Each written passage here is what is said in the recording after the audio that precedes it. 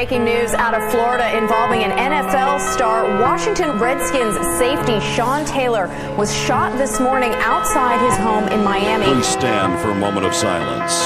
We lost a wonderful member of our Redskins family this week when Sean Taylor tragically lost his life at the age of 24.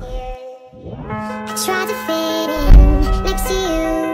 Yes, I wasn't clear. Maybe I'm just not You're the best I ever coached. Yeah, you will be missed.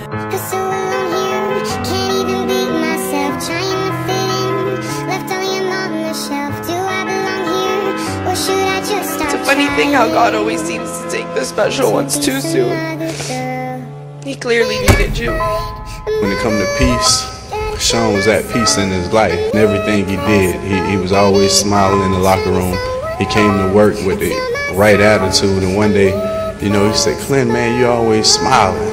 I wish I can do that. And, you know, I'm wondering, I'm thinking the same thing about you.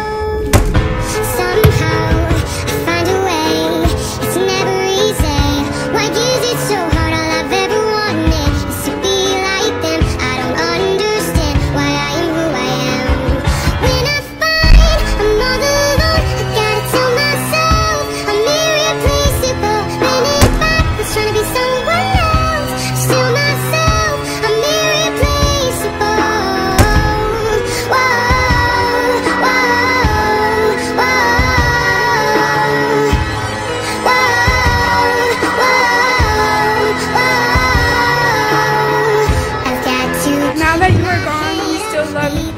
Hoping you are here with us. Always wanting to share the funny moments, never the sad. Wanting you to keep your head up and never getting mad. Saying prayers and telling you our thoughts so you know that you will always be in our hearts. Hoping this never happened, wondering why. Wishing you the best while not wanting to cry. I never wanted you to leave, heart that loves you will always grieve. I'm waiting to see you again, but I know you're home, and I'm wishing you were never gone.